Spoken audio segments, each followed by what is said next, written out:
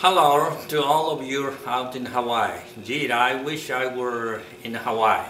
I saw that there were some pre-conference trips on the program. You could visit Maui to study clean energy and technology.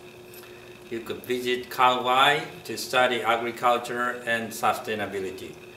Where is the program to study waves at the beach? That's the one I would sign up for. But I know that not only are you having fun out there, you are also focusing on the larger purpose that brought you all together. And that is strengthening and deepening the U.S.-Japan relationship.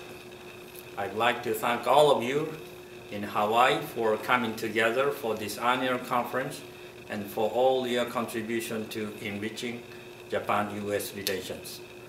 You contributed after 3-11 by developing the Tomodachi Initiative and by fostering the Tomodachi generation, who in turn will also contribute to Japan-US relations. You contribute by strengthening relations between local authorities in Japan and the United States.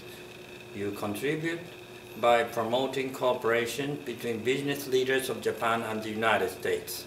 And you contribute by nurturing Japanese American leaders. Through all of these efforts, I want you to know that the government of Japan support USJC and each of you. So in closing, I thank you again. I wish you the very best of the success on your annual conference. Arigato. Thank you.